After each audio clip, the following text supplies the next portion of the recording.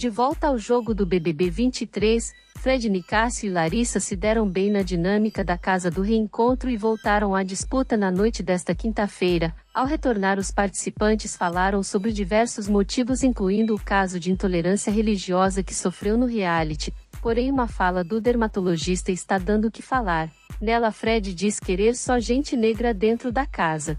Eu quero essa casa inteira de preto, gente. Inteira de preto. Inteira, inteira. Não quero nenhum branco aqui dentro. Não quero. Eu quero a casa, eu quero Big Preto Brasil.